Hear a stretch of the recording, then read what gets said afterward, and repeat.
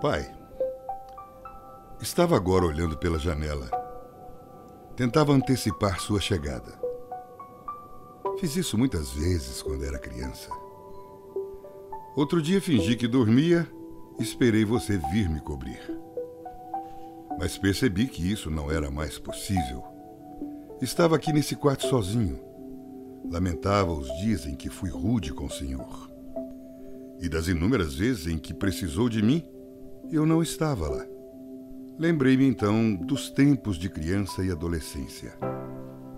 Quando, apesar de todos os seus problemas e cansaço, você sempre arrumava tempo para ir até a minha cama. Simplesmente para ver se eu estava bem. Colocava as mãos sobre minha testa para ver se eu estava com febre. Ajeitava o cobertor. Às vezes deixava algumas moedas embaixo de meu travesseiro eram poucas naquela época e, com certeza, sem muito valor. Mas hoje as desejo como se fossem ouro.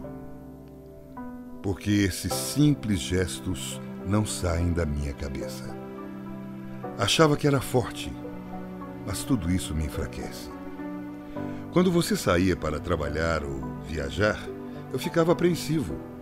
Nunca lhe contei, mas meu coração doía de saudades. Pedi a Deus que lhe protegesse e lhe trouxesse de volta. Você sempre voltava. Sofrido, abatido, sujo, mas voltava.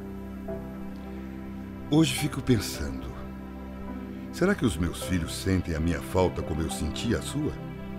Será que sou importante para eles, como você foi e ainda é para mim? Será que consigo transmitir a eles os mesmos valores que aprendi com você? Também me pergunto: se você é tão importante para mim, por que às vezes eu o esqueço? Por que não tenho tempo para lhe dar um simples alô? Por que às vezes não consigo retribuir o seu carinho? O engraçado é que hoje tenho tudo o que você nunca pôde ter: casas, apartamentos, carros, dinheiro.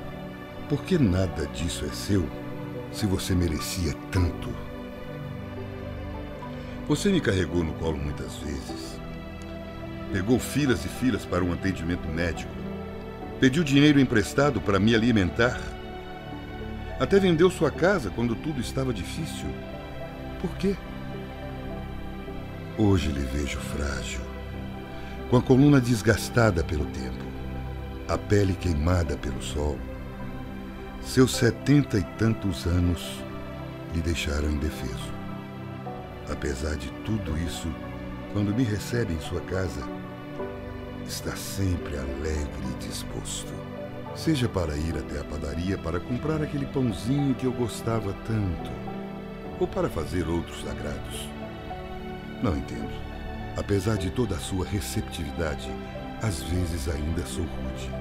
Reclamo da vida dos negócios feitos ou desfeitos. E mesmo assim, você tem toda a paciência comigo. Então, pai, se ainda der tempo, queria dizer que hoje também sou um pai. E que tento ser você todos os dias. Tento ser para meus filhos o que você sempre foi para mim. Já não importo mais com a idade. Hoje, mesmo com os meus quarenta e poucos anos, quero que me segure no colo como segura seus netos.